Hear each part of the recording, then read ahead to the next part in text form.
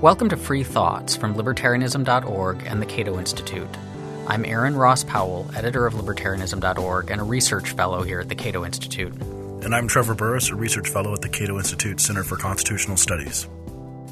Today we're talking about financial regulation. We're joined by our colleague Mark A. Calabria, Director of Financial Regulation Studies at the Cato Institute.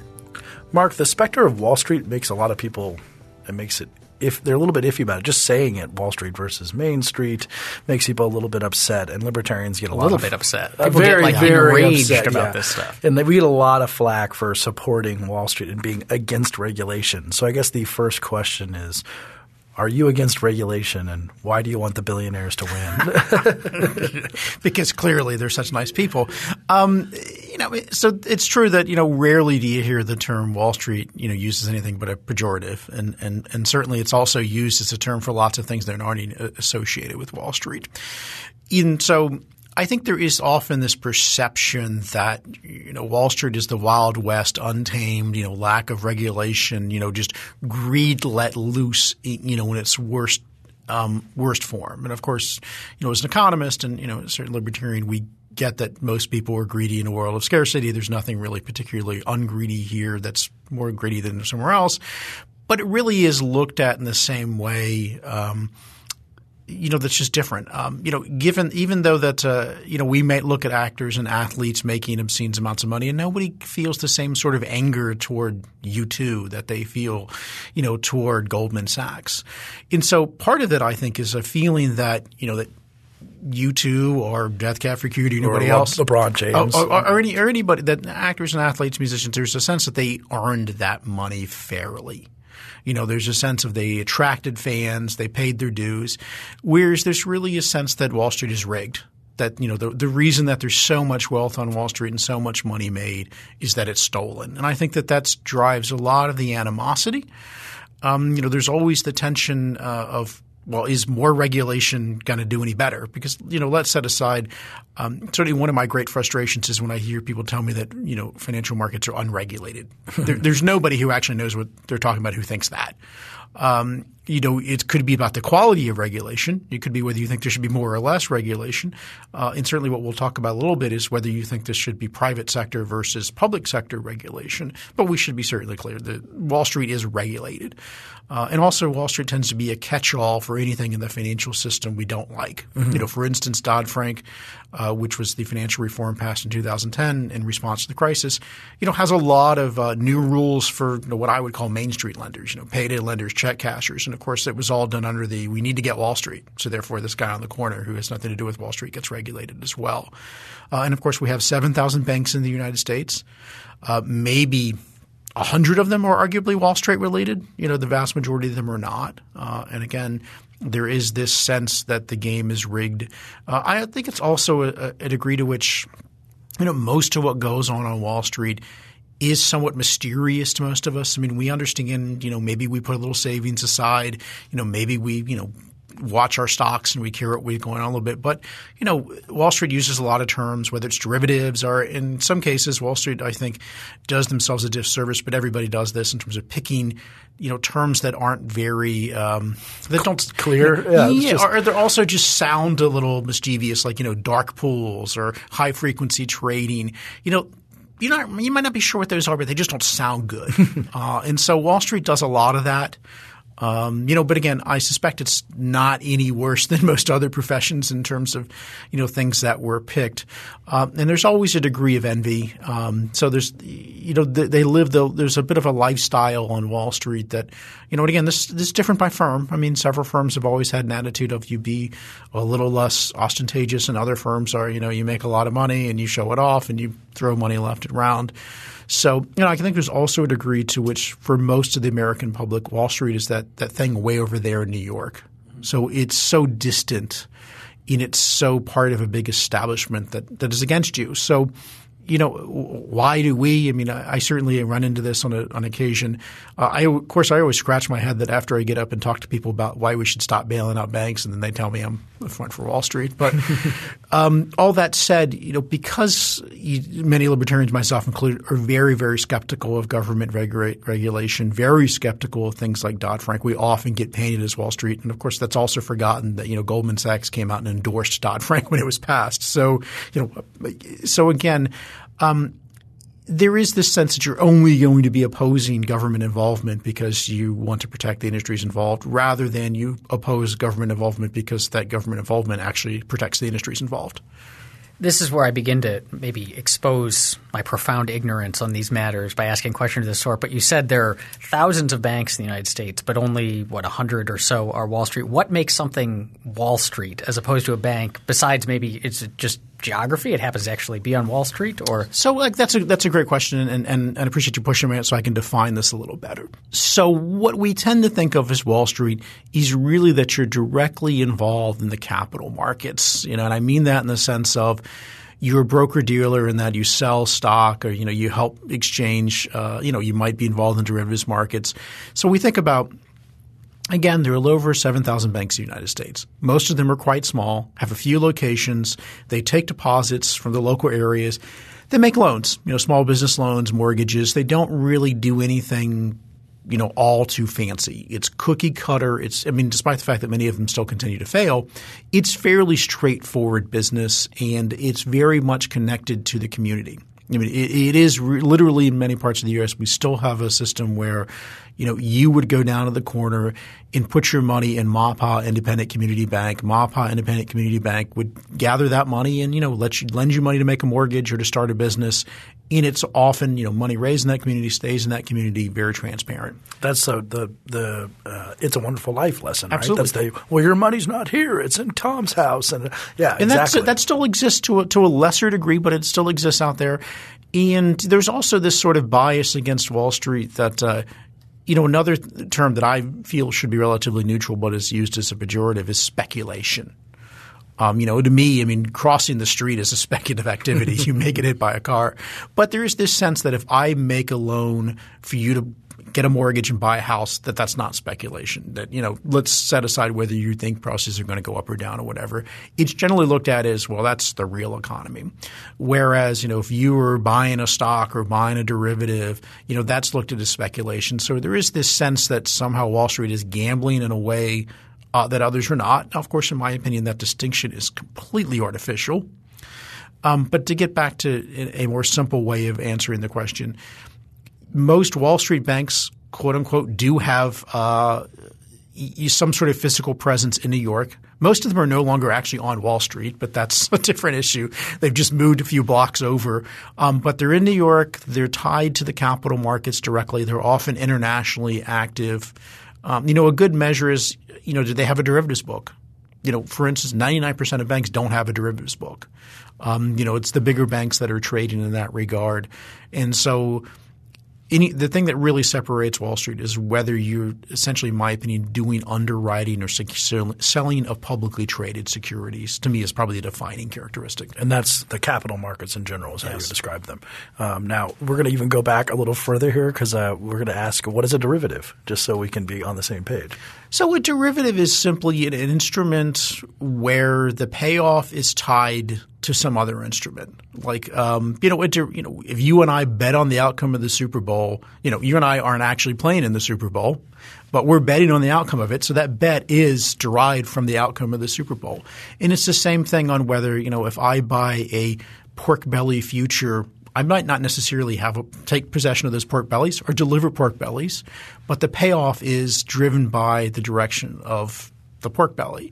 So it's quite simply an instrument whose value is derived from the movement of something more concrete. And of course, you can have derivatives of derivatives. Um, it's also important to keep in mind because there's a lot of mystique around derivatives. Um, just like a Super Bowl bet, the net outcome is zero. Someone I, loses, someone, someone gains. gains. I bet you hundred dollars. I lose. I pay you hundred dollars. There, there is no net loss. It's simply a transfer.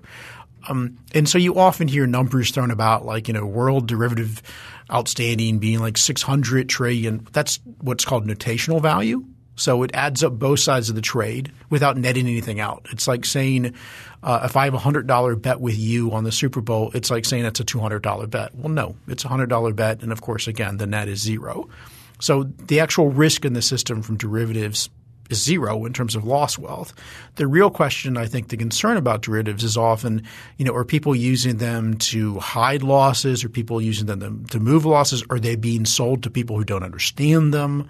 Um, and so there's lots of questions about less the derivative than what the derivative is trying to do. And what what are they trying to do? Because I'm trying like I can understand investing in a product, investing in a company, you know, buying the pork bellies and see if they go up, but or buying Apple stock. Okay. Right, but what what do you what do you why would a bank do this? Why would anyone want to trade these things and then trade derivatives of derivatives? The I mean the bet between us for the Super Bowl, we do it because it's fun, but to turn that into a financial yeah, instrument. They're not necessarily doing it for that reason. Um, so there's predominantly two reasons. Now, the overwhelming majority, and I really do mean, you know, we're close, you know, approaching like 90% of derivatives are interest rate swaps. And so keep in mind, let's go back. Can you describe exactly what that would I'm, be? I'm okay. about to get to that. But so let's start with our MAPA Independent Community Bank again. MAPA Independent Community Bank takes your money in deposits and it pays you. Now, of course, in today's environment, it doesn't pay you anything on your deposits, but in a more normal interest rate environment, you get to pay it on your deposits. That rate you know, is reset pretty regularly. And so the bank then lends out that money for long-term assets. So a mortgage could be as much as 30 years. Don't generally last that long. Even a small business loan is going to be five, seven, ten years maybe. So what the bank has done is it's borrowed very short-term in deposits and it's lent very long-term for a fixed rate almost always. Mm-hmm. Now there it could the bank could decide that it's just going to lend adjustable rate and borrow adjustable rate and that risk goes away, but that's for a variety of reasons you generally don't see that. So in most situations the situation facing the bank is that I have lent you a long amount long-term money on your mortgage, let's say 5% for the sake of argument. I face the risk that if rates start going up from inflation or otherwise, I can be in a situation where I'm paying more to borrow than I am getting when I lend. And of course, that's what got the S&L, the savings loan industry. I mean, try to fan this. The entire savings loan industry, every single savings loan in the United States was insolvent in the late night, late 70s when interest rates their liabilities up. were bigger than their yep, assets because they were they had these mortgages for long dated that were you know four, five, six percent, and they had to pay you know the I think the uh, federal funds rate in the early 80s got and up that's to something the, that's like the, Fed. The, the, overnight rate, which is a proxy for short-term rates. So you literally had a situation where um, you had to pay 12, 13, 14 percent for money in which you were getting a return of 6 percent. Mm-hmm. Yeah, you're kind of bankrupt. And so we really saw growth in derivatives market after that. So interestingly enough, you really saw very little use of derivatives before Nixon took us off gold in 71. And, and so because you saw a lot more stability in currency markets, you saw a lot more stability in interest rate markets. But again, the overwhelming majority of derivatives used by banks are to hedge interest rate risk. So that's one. The second one that gets talked about a lot are, are things that are called credit default swaps. So keep in mind there are at least two basic risks in a loan. One is the interest rate risk that you know you get paid um, back less money than you lend out. The other part is you don't get paid back. We think Just of that default. As, yes. Yeah. So you know in like let's go back to our uh, Super Bowl analogy for a second. You know, Trevor and I make a bet on the Super Bowl. Um, I win that bet. Hooray for me. However, let's say Trevor's a deadbeat and doesn't want to pay me, or Trevor goes bankrupt. Let's be generous, or Trevor gets hit by a car or something, you know, after the game or something. So let's say for so whatever reason, despite the fact that I've won the bet, I'm not going to get paid. And that's a credit risk or, or, a counterparty risk. And so one of the things that really took a, a, special interest during the financial crisis were these things called credit default swaps. And what a credit default swap is, it is a derivative where it's hedging a particular credit risk. So it wasn't unusual, for instance, for a bank to buy lots of GM bonds and then buy a credit default sw- swap so that if GM defaulted, it would get paid by somebody else on those bonds. So let, me let me put this back. Uh, you buy a bunch of GM bonds which have a risk to actually go under at some point. You could lose nothing. So then you buy a different instrument on the other side which is trying to keep that risk that you'll lose everything on the GM bonds. This sounds like an insurance plan. It, it, it is in a way, and of course, there's a whole separate conversation of why don't we regulate these things like insurance. Um, but so one way to think about derivatives, and I, you know, since I'm with two lawyers, maybe I can sort of think about this is um, it's like your sticks and your bundle of rights, and it's really, if you think about it, any one instrument has a variety of different sticks of different types of risk. And so what derivatives allow you to do is pull out those different sticks and parse them out to whichever party is willing to bear that risk for the lowest cost. And so you might say, I'll take that credit risk for X. You know, I'll take that interest rate risk for X. So, of course, there are regulatory reasons. I mean, there's a whole different regulatory reason why banks loaded up on credit default swaps when they might not have. But the underlying fact about derivatives is – they are a facilitator for you to, essentially split instruments into finer and finer pieces of risk and diversify those risks to various parties. And to me, I think that overall they are very positive development. So let's go back to the big picture then, because uh, people might be saying, well, how do the financial markets then help the economy? Uh, they can understand the house. Uh, so, so, the first one would be uh, unless you want to pay all cash up front for everything you buy right now, you could never own a house, right? And that's a good thing if you like to own a house, possibly. or you could build one yourself. Uh, or you could build one for yourself. So they help you buy houses, and then but anyone who's going to lend you that money to buy a house is going to have a risk of yeah. losing that money. So they want to have some sort of hedging themselves against that risk. But there's a lot of other things that these financial markets help do. They try and predict the future, right? Isn't that kind of what they're doing? So, so you, you, get to what I think is an important part, and, and the way I think about the role of financial institutions is primarily this sort of intertemporal exchange, and almost in some sense an intertemporal it's like charging things to future people and, and, and, and, and in a very big way to a future self. And so let's keep in mind that um, for starters, most people kind of have a U-shaped earnings profile. You know, you don't make as much when you're 20 when you're 25 than is when you're 55. And so, in some ways, when everything works well, what the financial markets let you kind of do is your 25 year old self borrow from your 55 year old self. In so that either you can make those investments today, or you can buy that house today, or you can get that student loan today. Um, and so, of course, what we're really doing is instead of you actually borrowing from your 55 year old self, your 25 year old self is borrowing from this other 55 year old over here yeah. who stands in for you in a way. So the role of financial institutions is on a very basic level to match savers and borrowers. Um, and you know, of course, you can have economies where there's you know uh, one, a lack of one or the other, um, but it does allow you to borrow and in a way um, that allows you to invest or allows you to even consume today and increase your capital and your earning yes. potential. So if you want to start a business, if you want to do something, it allows you to find the person out there who has that money, uh, and then allows them to hedge against the risk that you're not going to make the money in the future, and then everyone starts trading those risks between each other. Exactly. So it allows them to be diversified. So you could certainly, um, you know, for instance, and I am very encouraging and optimistic about you know growth in peer-to-peer lending and, and these sorts of things, but I think they're always going to be relatively small because okay, let's go back to this example and say, um, you know rather than you know you you're not going to be able to find the 55 year old you because you can't go into the future. So the 25 year old finds some other 55 year old. Um, you sort of touched upon, there's not a lot of diversification there.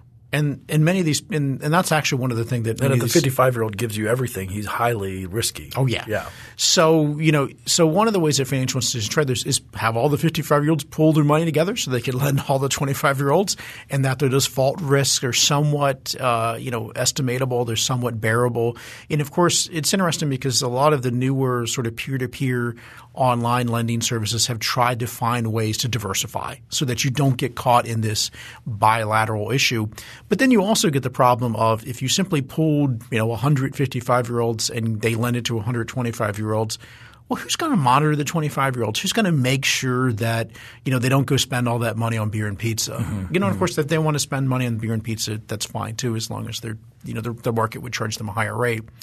And so what financial institutions have largely ended up doing is trying to serve that sort of monitoring role. So they screen borrowers. That's a big thing that they're supposed to do is try to be the expert. Um, you know, and this is really one of the biggest changes we've seen in the financial markets. Prior, let's go back to that Jimmy Stewart world you mentioned. Prior to like the 1980s, lending really was done a lot on a face-to-face basis, and so you certainly saw – you know, you looked at credit ratios, you looked at people's ability to pay, but a really big part, and if you go back and look at textbooks on lending and, and, and real estate and such from the 60s, 70s, or even earlier, there's always something mentioned called character. You know, and so what really you got to be good at as a lender that distinguished you is you had a really good get sense of is this guy across the table going to pay me back or not? And that kind of sounds kind of glib, but it really is that sort of tacit knowledge of time and place that would made a good lender. And uh, to me, I think we've lost a lot of that in our financial system. But the underlying point is that a very big part in addition to matching buyers, borrowers, and, and, and, and, savers, is that financial institutions monitor and discipline both sides of that equation. So it really is a division of labor in the marketplace. And that seems like that would create competition then in that, which goes back to this question of market regulation versus government regulation. Well, before we get to what the government does about this or the ways the government can muck it up, I'm curious. I mean, the, the picture that you've given seems It's pretty simple. pretty okay in the sense that like so these these financial institutions are helping people who need money to borrow by spreading out the risk and facilitating lending and, and all that sounds great. But we're constantly hearing about lots of bad behavior by these institutions. So what is how does bad behavior fit into this or what does bad behavior look like in this picture? And so let's set, you know, let's let's try to separate out the, the bad micro behavior from the bad macro behavior, and I'm, I'm, we'll get to the bad macro behavior later. So the bad micro behavior would simply be fraud. So for starters, financial institutions deal primarily in cash. I mean, or you know, or some sort of transaction. And so, if you can, you know, contrast that to, you know, you're working in a factory, you know, you're working in a tractor factory in Indiana somewhere. You'd like to steal from the factory. You know, what are you going to do? Walk out with the tractor? I mean, maybe you could. Um, but my point being is that one of the reasons that financial institutions have been more fraud prone, embezzlement prone, is because the assets in which they deal with are so much more fungible than any other industry. Uh, and You I can just change something on a computer. That's all. You don't Yeah. have to walk out with a with exactly tractor. now. Now that that's all you need to do now, and and so it's just become. It's just what they deal in is so much you know easier, and of course I think actually the computer part of it will make it in, over the long run harder because you'll be able to trace things easier than when it was all cash, um, and so that's part of it. Now part of it of course is that um, you know you have lots of bad behavior on the part of borrowers. Uh, you have, and so it certainly should be kept in mind that bad behavior cuts across you know the, the spectrum here. Um, I think you've also had, and we'll get into this a little bit more later. I think you've had more bad behavior in the financial services industry because of the regulatory barriers to entry. It's very hard to start Yes. a new trading firm with a new idea for how to do things better. Absolutely. So, so entry is very difficult. Uh, and so historically, the way you've gotten around these issues before the imposition of government is you had to build up a reputation. Um, you had to have, uh, you know, some sort of, you know, credit comes from, you know, the, is derived from the line word tr- for trust, basically. And so you have to develop that reputation. Um, you often would have to put your own money in. So early bankers uh, often put most of their own money in, while the typical commercial bank today is leveraged ten to one, which means that you know for every dollar of equity, the owner's own money, there's another you know ten there um, of debt the traditional early banking system was far more equity driven. You know, it was far more your money at risk. Um, and of course, part of this also grew out of you know a lot of banking grew out of this sort of storehousing of gold and other um, other precious minerals and goods. But again, you had to develop that sort of trust. And, and again, that to me is a big part of it. But underlying reason, um, I don't think it's that what what is inherently the problem for attracting fraud is just because the assets and liabilities are so fungible. So let's go back to the beginning. Uh, now that we have some sort of okay grip on maybe what's going on here, uh, let's go back to by the beginning. I don't necessarily mean the, the Fed. Adam and Eve, I- the, Fed the Fed, I'd rather avoid to not get into monetary policy. I mean, we- we'll come up a little bit, but at least for financial regulation itself, we're really let's go back to SEC and maybe the FDIC and the story that the way that you see the story for how markets you know, the market regulation maybe worked, and then the SEC and different entities came in. So the SEC was first, I think, in 34, maybe at the same time, 33 and 34. Yeah, and, and we can actually. So it's certainly worth pointing out too that um, just at just as we don't have a free market in banking and finance today, we've never actually had a free market in banking and finance in the United States. Uh, and so very early on, uh, after the founding of our republic, you had many banks were set up by this by states. Um, you for a very long time had entry restrictions. So it's been a very highly regulated industry since day one, essentially, in the United States. Now, because of that, um, going into the Great Depression, you had a very large number, thousands and thousands of bank failures. Um, actually, many of these were even before 1929 because you had the housing, the real estate market um, peak in 25, 26. You had a lot of these ag banks fail. And so we saw wave after wave of bank failure in the late 20s and early 30s. Um, foremost because at that time you had these very stringent regulations on entry. And even up until the 1990s in Texas, a bank could only have a single location. Now, of course, if you think about it, if you were stuck, and again, this is an extreme example, but not all that uncommon, if you're the one bank in town and the one big employer goes to, in town goes out of business, you're done. Yeah, you're done as a bank. So we had a pretty big lack of geographic diversification of the banking system. You know, the really comparison that people in the banking scholars often use is looking at Canada during that time. And so Canada had a similar decline in GDP during the Great Depression in the United States. They had, you know, they're even more dependent on ag than we are. Yet they had six very large banks and had zero bank failures because they, they, were diversified. They were diversified. Um, they had private lending arrangements, clearing houses. So, and again, they had much less regulation at the time. They were much less leveraged.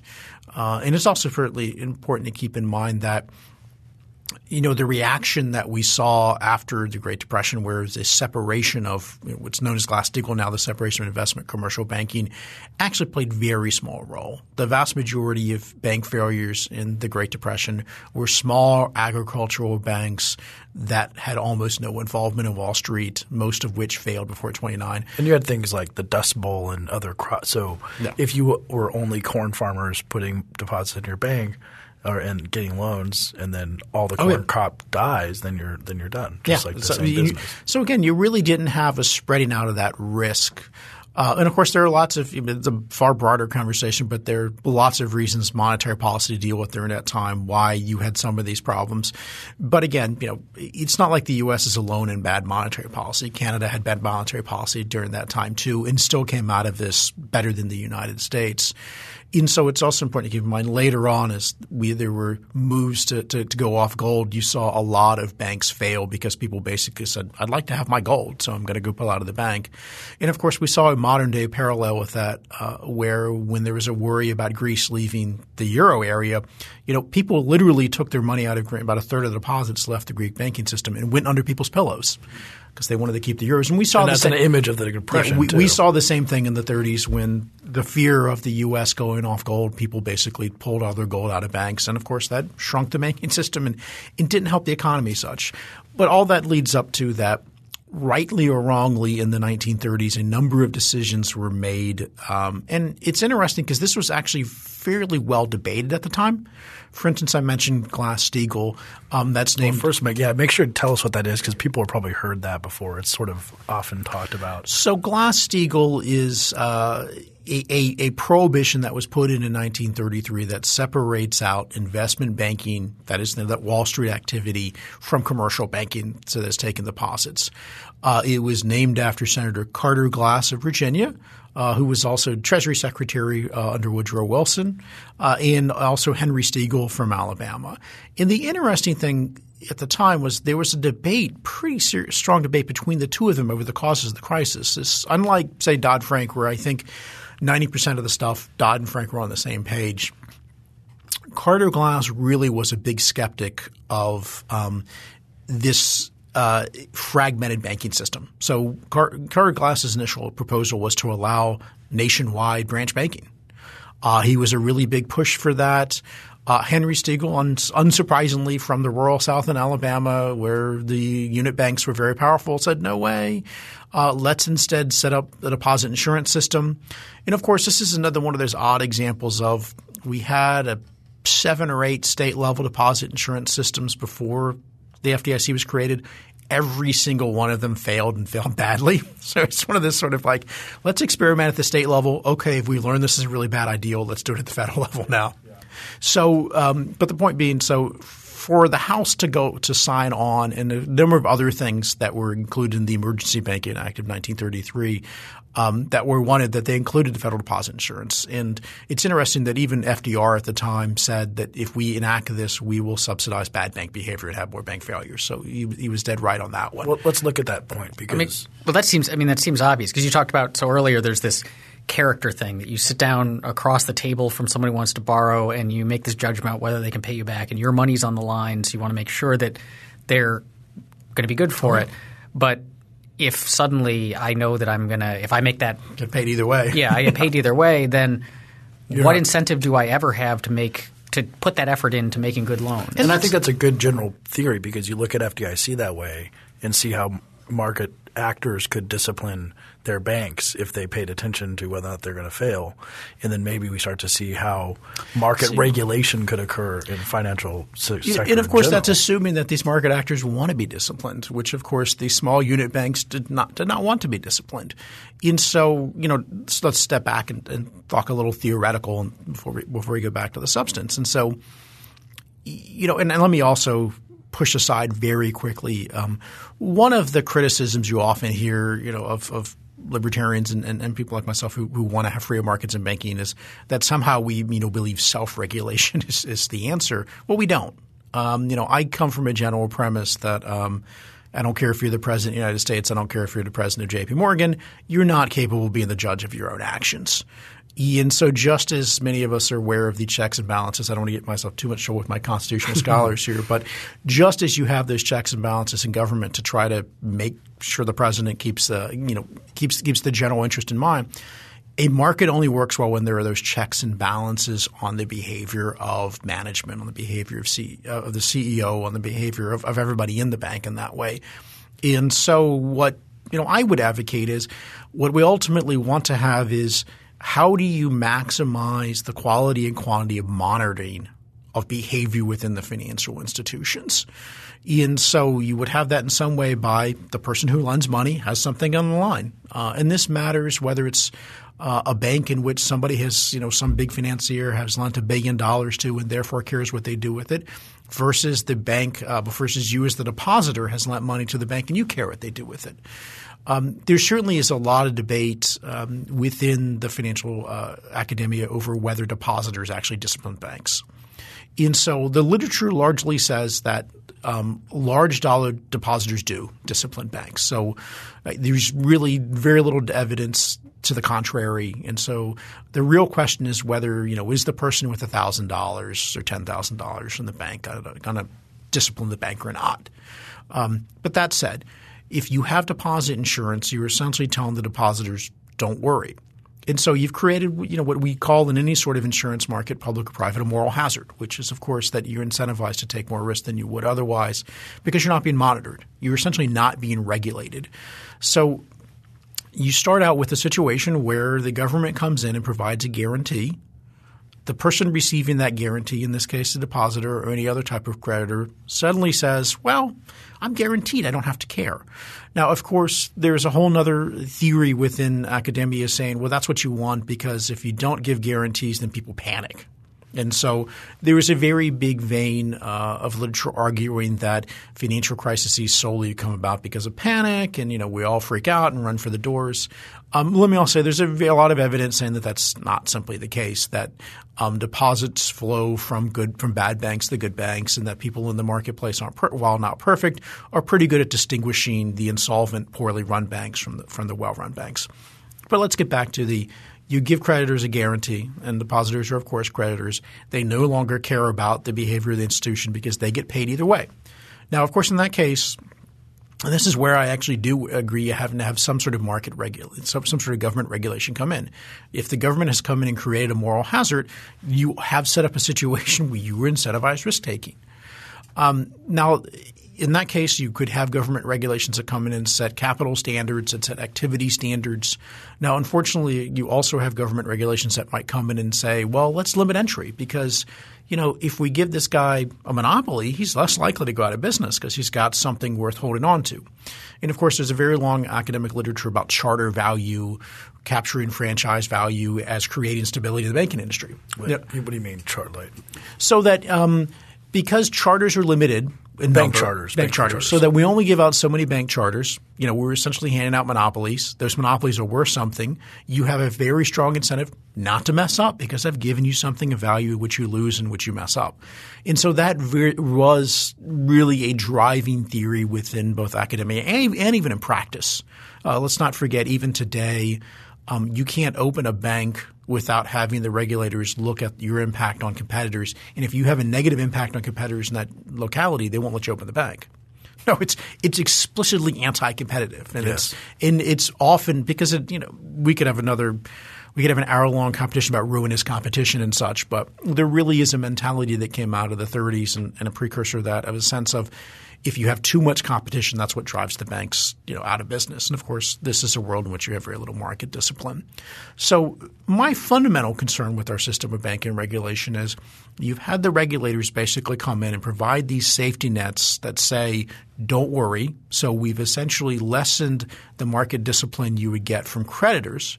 And we've attempted to substitute that with having regulators um, try to offset that with various types of regulation. Now, there's a couple of concerns I have with that because in theory you could say that might work. Well, you know, we'll we'll we'll, we'll pay the Tim Geithners of the world a lot of money. They're specialists. We'll only get these really smart PhDs from Harvard, and of course they're going to do a better job regulating, you know, than the man on the street. Well, it turns out for a variety of well-known reasons that doesn't actually tend to be the case. Maybe foremost among those is that um, creditors have very strong incentives. When your money is on the line, you care. Um, it's normally been the case that after each financial crisis, approximately zero regulators actually get fired or disciplined. So of course you're embarrassed. You know, you might get called up before Congress and yelled at, and your friends might make fun of you or whatever, or you might be actually able to go on a book tour and make a lot of money. so um, it, there's just very weak incentives from the financial regulator than there are relative um, to the depositors and, and other creditors. And so of course it's also important to keep in mind for 96% of the banks, their funding is almost exclusively depositors. You know, for the bigger banks, the JP Morgans, Bank of America's of the world, you know, somewhere between a fourth and a half of their funding might be non-deposit creditors. And so you have that incentive problem, weak incentives on the part of regulators, strong incentives on the part of um, creditors. Um, but you also have the political aspect to it as well. You know, it's highly unlikely that you find a situation where government comes in, creates market power, creates monopoly rents and lets you keep all those monopoly rents. They usually don't do that. It's funny that way. usually they come in and they ask for something. And so a lot of what we see in banking regulation, in my opinion, you know, that looks like it's kind of banks versus government is really an argument over the distribution of rents. It's not. It's not really an argument over the basic structure. Let's let's, let's explore that. So they they have a some sort of monopoly or market power that is given to them in some way by government. Um, and then which leads them to then make more it. money than they would have otherwise. Absolutely. And so then you're saying government doesn't want doesn't want to just let them keep that. So where does it go? So is government do you mean like government wants to increase taxes on them? Or? So there's a variety of ways that this would this would work. And so um, I mean the, the, the bottom line is government spreads it pretty widely, but let's talk about some of the ways in which government might spread it. So government might spread it and of course requiring you to buy a certain amount of government debt. So, for instance, when the national banking system was created at the end of the Civil War, uh, near the end of the Civil War, rather, how much you could lend as a bank was a direct multiple of how much government debt you bought. So if you bought no government that debt, that was part of the charter. Yeah, oh, that was part of the charter. So if you bought no government debt, you did no lending. So in every extra dollar you wanted to lend, you had to have X percent more government debt. So, um, you know, and often there was an expectation that the government necessarily wasn't even going to get paid back. You were just going to keep rolling over government debt. So the foremost way in which governments have shared in that those monopoly rents is essentially either direct transfers. You pay a chartering fee. Um, I fascinated, you know, fascinated and astounded by the fact that between 1820 and 1840, about um, almost half of the revenue of the state of Massachusetts derived from its banking industry the, for the government of the state of Massachusetts. That was an outlier, um, but states set up these these mechanisms where the banks basically funded them as fiscal agents. We see that today. Um, still, I mean, one of the reasons, of course, that the banks in Greece and Italy were bailed out was because they were the largest holders of Greek and Italian debt, and you know nobody is going to sub- Italians and Greeks will not pay the taxes that are required to support the level of welfare, welfare that they would like, and the only way they deficit finance with the banks. And so, so fiscal transfer is one way. Uh, another transfer is requiring you to um, do hidden subsidies to preferred consumers. So we think about in the United States things like Community Reinvestment Act. Uh, we think about the GSEs, Fannie and Freddie's housing goals. What these essentially are is that – we give you a privilege that's worth something. You share part of the value of that privilege with select constituencies, which would then therefore vote for us. So there are other ways in which you're maximizing that public support. Uh, in one of the ways that um, I mentioned earlier that you had this fragmented banking system, the reason that it was stable for a very long time was because part of the rent um, part of the rents, if you will, the monopoly rents, were shared with the agricultural community in, in the way that the system was set up. So it's important to keep in mind that the political equilibrium between the banks and the governments is rarely one where it's just banks and government. There's almost always some other collection of parties. Um, you know, in a shorthand way of thinking about this as American history is we went from a system of very fragmented small banks who partnered with the ag community um, to essentially extort the rest of us to a system now where we have fairly large too big to fail banks who have partnered with uh, community activists to extort from the rest of us. So the, the, the, the, people have changed. And of course, some of this is because of the S&L crisis revealed uh, the frigidity of the fragmented banking system. You know, you really had this situation where – the reason that we allow nationwide banking now is because the regulators didn't want to recognize, Congress did not want to recognize the cost of literally an entire industry that was insolvent. And so they allowed other, you know, banks and other S&Ls to buy each other and merge each other. And the only way to do that to paper up losses was to allow that to go across state lines. Um, just like in some ways that we saw um, – you know that that you that you saw uh, you know Bank of America buy Merrill Lynch. It was really a way that we didn't have to admit that Merrill Lynch was insolvent. In the same way with J.P. Morgan buying Bear, although we admitted some of that insolvency in a more transparent manner. Um, so again, for banks to sort of function in this political environment, they've almost always got to have some sort of partner. Uh, certainly, there have been times in history where the partner has been the government. So almost, you know, of course, as we know, the um, Bank of England started out being a monopoly chartered bank that was there to fund the crown, exclusively there to fund the crown. So, you know, certainly as a historical matter, and of course this is one of the toughest things for those of us who want to move to a free banking system, is that with a small number of exceptions, banking historically has been very tightly wed to the state, primarily as a captive vehicle for financing for the state.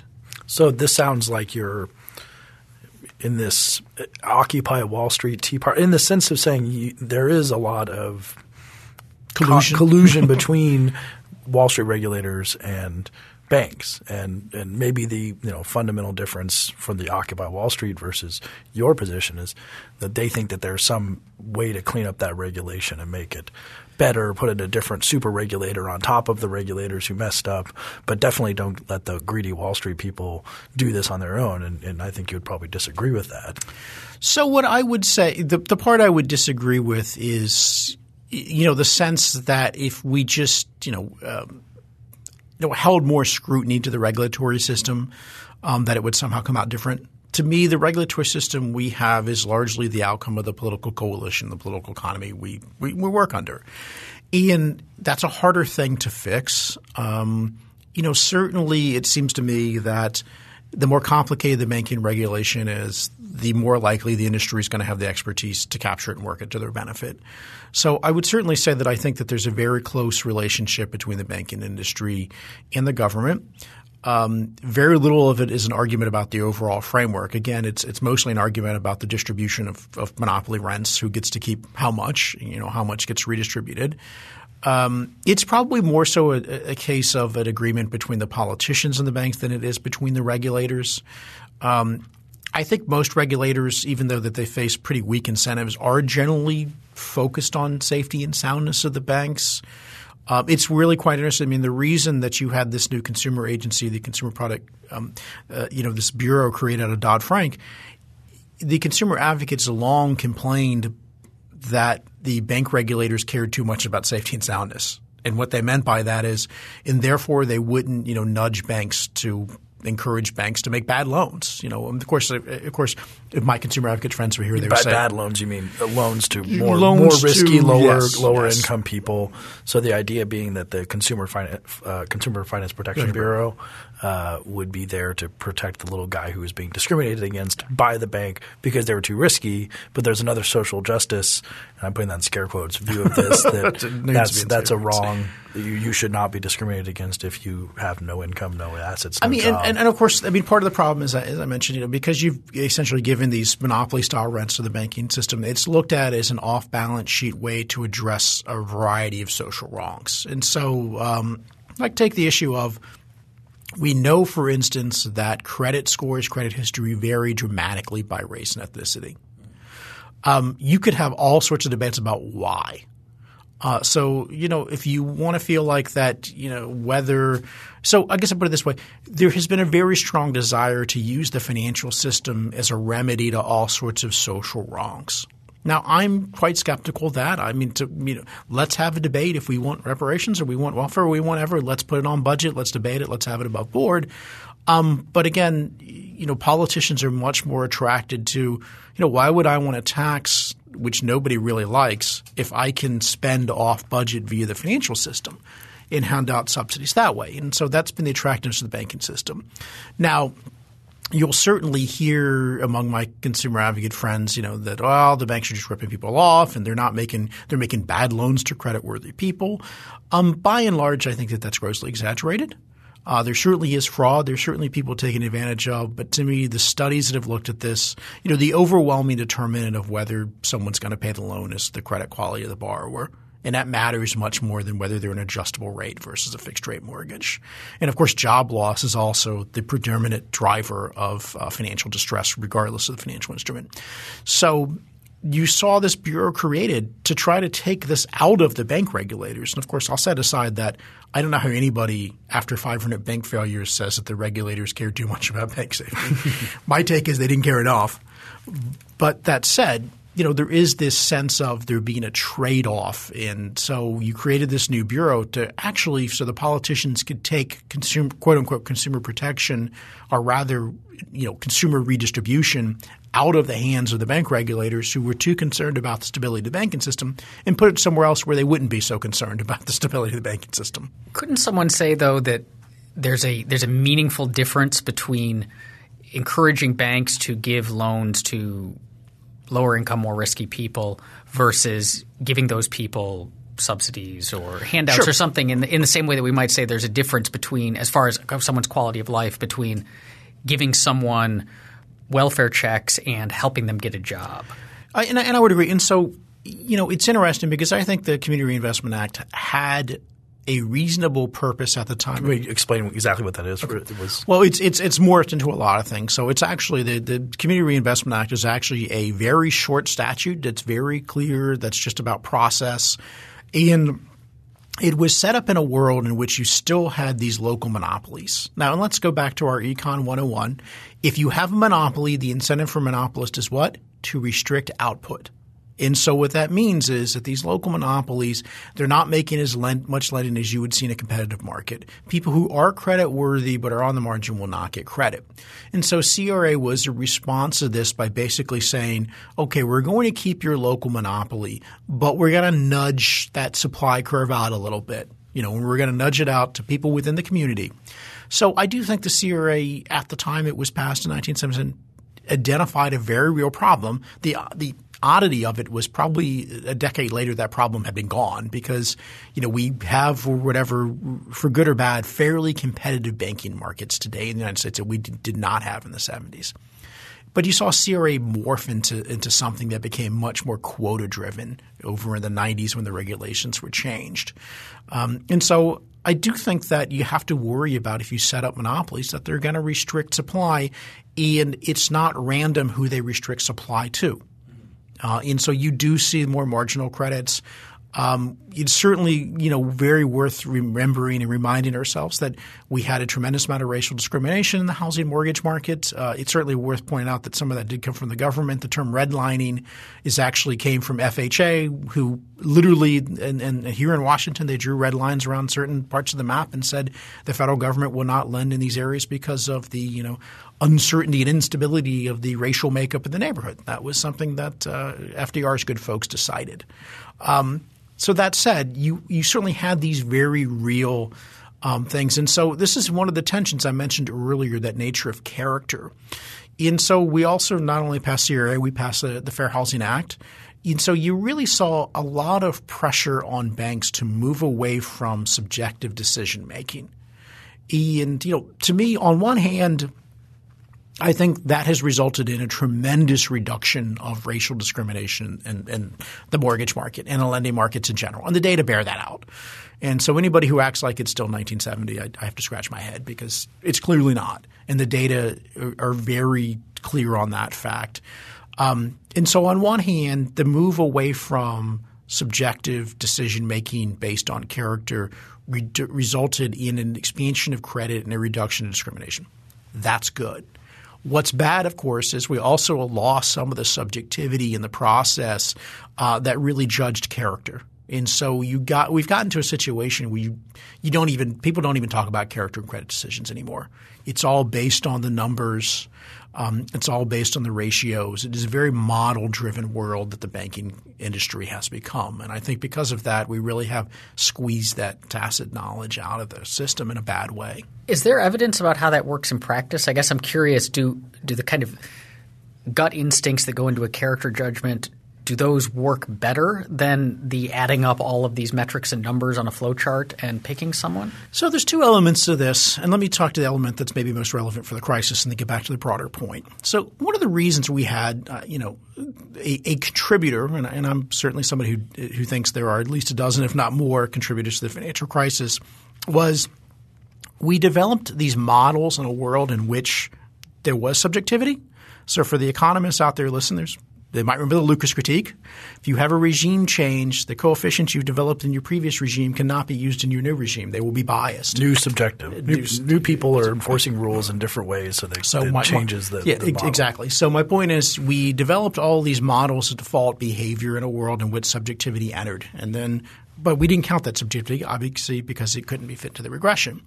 And then once you squeezed the subjectivity out of the process, those models were still being used based on that previous data. So um, that's one reason why a lot of the default models that were used in the banking industry grossly underestimated the performance during the crisis. They were just based on a different world. Uh, they were based in a world in which we had unobserved variables. The subjectivity character was actually included in the model, even if it wasn't specified. And then it wasn't. So then again, you, your models broke down. Now, the other part of of course, is that we'd had this massive expansion of subprime lending, which we really did not have before the 90s. So you didn't have an inflection point. And trying to predict changes without an inflection point and change in your data. What do you mean an inflection point? So subprime mortgage data – really only goes back to the early 90s. And so the last housing market bottomed out 93, 94. So essentially you were predicting subprime performance on a straight line of the housing market. And so unless you have a turning point, which is your inflection point, then you really don't know how they're going to perform. You just think it's all going up. Yeah, you just think it's all going up. And so you know, what they were basing that on was, of course, we had data for the prime market because we had the late 90s and early, the late 80s and early 90s, where in some places like New England it performed horribly. Um, and so you had data there for the prime market, and then they're essentially trying to forecast out a sample. You know, they were looking at, well, this is how prime borrowers perform in a bad market, and so we're just you know kind of assume a little bit, fudge a little, throw a couple fudge factors in the equation, and assume that we know how sub, subprime borrowers perform. And so it's also important to keep in mind prior to the to the 90s and, and, certainly the 80s, subprime borrowers basically didn't get loans. And it's also important to keep in mind we are the only developed country in the world where if you have a history of not paying your bills, you can still get a mortgage. You know that that's unheard of in you know socialist France. If you don't pay your mortgage, they garnish your wages and they won't even give you one if you've ever not you know been late on anything. So part, and that's of course, in my opinion, part of the political coalition we have that maintains the, the monopoly rents uh, in the banking system. Is you have this coalition um, of essentially subprime borrowers who would not get credit otherwise. And now um, we don't we don't have that much time, and this might be opening up a big big uh, bag of, of worms. but so now we have Dodd Frank. Um, which is supposed to solve some of these problems. Uh, and, and, so, how is it supposed to do that? Uh, and, and, will it do that in any meaningful way, or should we be afraid that the government is coming in and once again messing be, things be very, up? very afraid. Be very, very afraid. Not just afraid, okay. very, very, very, afraid. afraid. So let's start out. So the theory of Dodd Frank is essentially that you had a run in the non-bank parts of the financial system, you know, an old style bank run. And so the theory of Dodd Frank is we simply expand the non-bank meaning like yeah. So the Lehman Brothers, the investment banks, insurance companies, uh, the, even the, the, shadow banking is a term that's used often without actually defining it very well, and, and would also mean sort of Fannie and Freddie, except they were explicitly ignored in Dodd Frank. And so the sense was well you know, if we just expanded an FDIC safety net to everybody else, we would stop panics. Okay. And, you know, and that's really the theory of Dodd Frank. Is uh, you know, I usually my quip is that um, the theory of Dodd Frank is that if we only regulate everybody else as well as we regulated Citibank, everything will be fine. And of course, as we know, Citibank, Citibank been bailed out four times. Yes, and so that is the theory behind it. So as you could imagine, I'm very, very scared and, and worried that it will not only uh, not avoid future crises, but make them more likely. And so while Dodd-Frank deserves a lot of criticism, it really is an extension of the previous system where we are expanding government safety nets with the promise that government regulators will come in this time. Let's forget whether they did or not last time, that they will come in this time and control the moral hazard that those safety nets create. And of course, part of the problem is that, you know, I think the fundamental problem here, of course, is that, uh, as I have to quip, democracy loves a bubble you know, during a boom, it's very hard for any politician, any regulator to push back. We all sit around talking about how much we sold our house for and, you know, this and that. And so what nobody's ever got to win on reelection on I'm going to bring the value of your house down. And so, you know, leaning against the wind is just something the political system does not do. I saw it when I was on the staff of the banking committee in the Senate.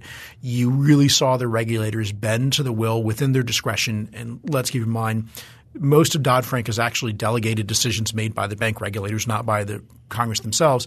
The bank regulators bend to the will of Congress. Congress bends to the popular euphoria. And so my problem with our current system of regulation, and I think you know we're stuck with this, is that it's extremely pro-cyclical. It ends up making the booms bigger and the busts deeper than you would have in a purely market system. Uh, and because it does end up just echoing, you know, the positive sort of boom mentality rather than actually bringing a pessimistic side to this. And so you don't get, you know, like the downside of, hey, maybe this is a little crazy. So, final question.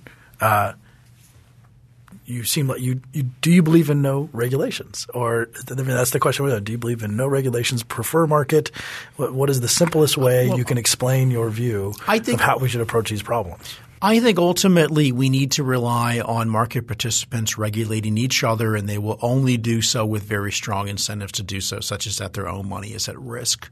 Uh, I think if we have a system that is reliant upon government regulators, um, then we will have a system that repeatedly fails. Uh, I think if we have a system where we tell creditors not to care about, if we tell creditors like depositors not to care about the quality of loans, the quality of activities that banks engage in, then we're going to get poor quality. Uh, and I don't think the regulators will ever be able to offset that. So not only um, do I think that government regulation does an inferior job of the private sector regulation, I think there's considerable evidence to suggest that the, pro- the public sector regulation crowds out private sector regulation, in that at the end of the day, we actually have less regulation total, public and private combined, than we would in a purely private world. Thank you for listening to Free Thoughts. If you have any questions or comments about today's show, you can find us on Twitter at Free Thoughts Pod. That's Free Thoughts P O D. Free Thoughts is a project of libertarianism.org and the Cato Institute and is produced by Evan Banks.